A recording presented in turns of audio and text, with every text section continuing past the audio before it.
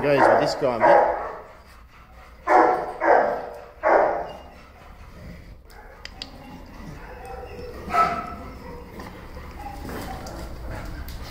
Come on, back in, buddy. Come on. Beautiful dog, though, aren't you?